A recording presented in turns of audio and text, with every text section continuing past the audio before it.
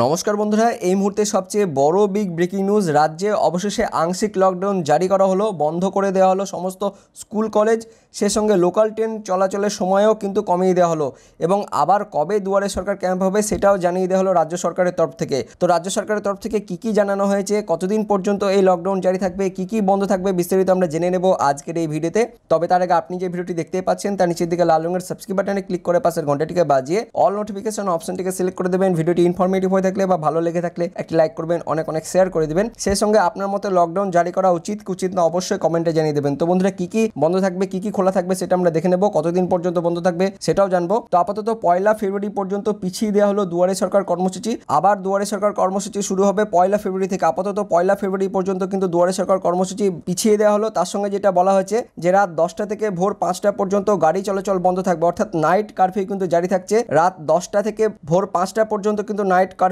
জারি থাকবে, সে সঙ্গে বলা হয়েছে শেষ কৃত্য অর্থাৎ কেউ যদি মারা যায়, সেই অনুষ্ঠানে সর্বাধিক যেটা উপস্থিত থাকতে পারবেন কুড়ি জন, কিন্তু সর্বাধিক উপস্থিত থাকতে পারবেন কুড়ি জনের বেশি কিন্তু সেই অনুষ্ঠানে থাকতে পারবেন না। দূরপাল্লার ট্রেন কিন্তু চলাচল করবে। সে সঙ্গে আরও যেটা বলা হয়েছে যে, রাত দশটার পর বন্ধ থাকবে সমস্ত শপিং মল, রেস্তোরাঁ। এ কথা বলেছেন মুখ্য সচিব। অর্থাৎ দশটা পর্যন্ত কিন্তু খোলা থাকবে, দশটার পর থেকে বন্ধ হয়ে যাবে। বিয়ের অনুষ্ঠানে, অর্থাৎ বিয়ে বাড়িতে সর্বোচ্চ পঞ্চাশ জন কিন্তু উপস্থিত থাকতে পারবেন। পঞ্চাশ জনের বেশি কিন্তু বিয়ে বাড়িতে বা বিয়ে অনুষ্ঠানে কিন্তু উপস্থিত থাকতে পারবেন না।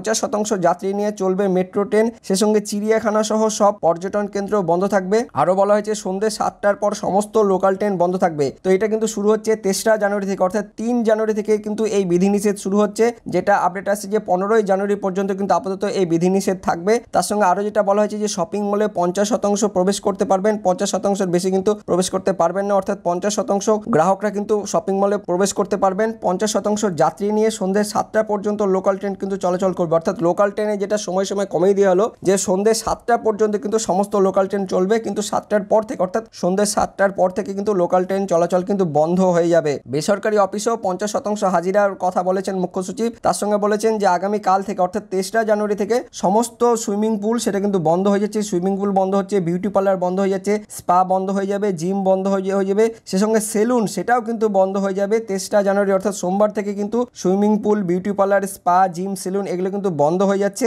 বেসরকারি অফিসেও পঞ্চাশ শতাংশ হাজিরা থাকবে। আগামীকাল থেকে অর্থাৎ সোমবার থেকে অর্থাৎ তেসরা জানুয়ারি থেকে সমস্ত স্কুল, কলেজ, বিশ্ববিদ্যালয় এগুলো কিন্তু বন্ধ থাকবে। তো সেই সঙ্গে আপনাদের জানিয়ে রাখি যে অনেক বিশ্ববিদ্যালয়, কলেজে কিন্তু পরীক্ষা আছে। তো সেইভাবে কিন্তু বিশ্ববিদ্যালয়, কলেজ থেকে কিন্তু আপডেট দেওয়া হবে। তারপরে যে আপডেট আসছে যে ব্রিটেন থেকে আসা সমস্ত বিমানে কিন্তু নিষেধাজ্ঞা জারি করা হয়েছে। তো বন্ধু দেখতে পাচ্ছেন যে সমস্ত বিধিনিষেধ কিন্তু আরোপ করা হচ্ছে। তেসরা জানুয়ারি থেকে এই বিধিনিষেধ চালু থাকবে। আপনাদের আবারও জানাব কি কি বিধিনিষেধ চালু হচ্ছে যে তেসরা জানুয়ারি থেকে সমস্ত স্কুল, কলেজ, বিশ্ববিদ্যালয় বন্ধ থাকবে। তারপর সন্ধ্যে সাতটা পর্যন্ত কিন্তু লোকাল ট্রেন চলবে। সাতটার পর থেকে সমস্ত লোকাল ট্রেন বন্ধ।